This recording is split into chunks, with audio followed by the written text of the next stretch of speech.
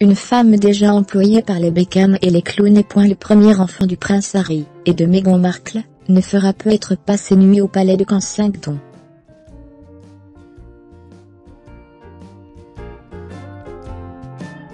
Alors que l'on disait les époux de Sussex sur le point d'investir, un vaste triplex mitoyen, avec le logement de la famille de Cambridge, l'ancienne héroïne de fait peaufiner la décoration d'un autre logement.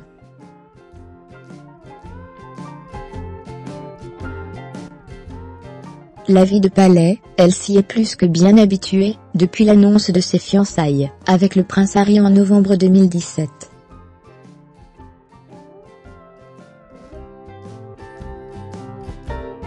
Revenue des antipodes, où elle a brillé par ses looks de femme enceinte, et son aisance à parler devant un public, Meghan Markle se repose, avant de poursuivre ses engagements d'Altesse royale.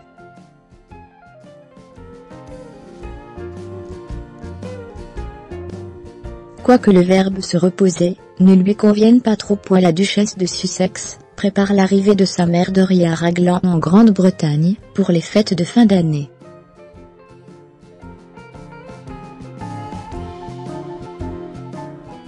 La sexagénaire californienne a en effet été invitée par la reine Elisabeth II à célébrer Noël avec les Windsor, au château de Sandringham.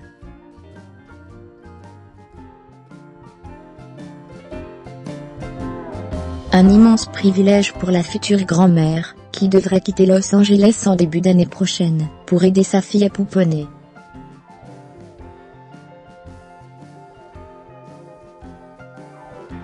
Un gage aussi qu'on ne refuserait à l'épouse d'Harry, nouvelle chouchoute des de sort.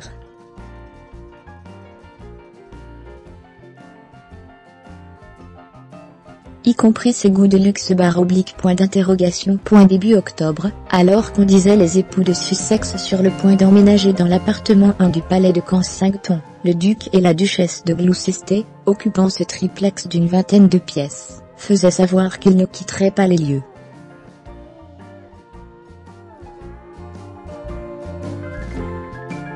Pas dans l'immédiat, en tout cas. Depuis, des trésors de diplomatie seraient déployés pour faire déguerpir le vieux couple.